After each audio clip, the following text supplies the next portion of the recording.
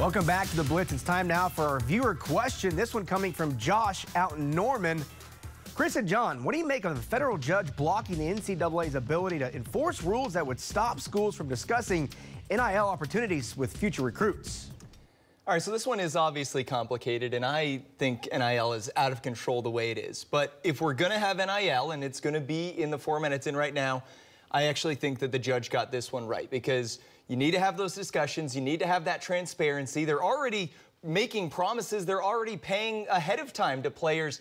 At least this is a move in the direction. Get a contract, make it official, make it so that you know, schools have to live up to those promises, and these athletes also have to live up to their end, and they can't just go shopping around. If, if we're going to have NIL, maybe this is a step toward regulating it. Yeah, I, I want to just say that the attorneys general, because that always sounds weird to me, from Tennessee and from Virginia, the ones that led this and, and got this ruling in their favor.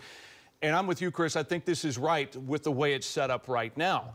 Uh, eventually, what could work the best, maybe a salary cap like in the NFL or in professional sports in some leagues. But here's the other thing that's going on this class action lawsuit with some student athletes wanting a piece of the TV money that schools are making through all these TV deals.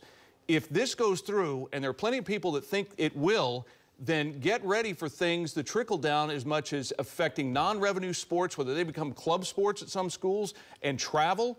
You enjoy these nice plane rides on charter flights, you might be busing across the country because there may not be enough money to go around. John, bringing the doom and gloom here with the NIL. Let's hope it doesn't get to that, but it certainly um, yeah, feels like it's headed that not. way. Yeah.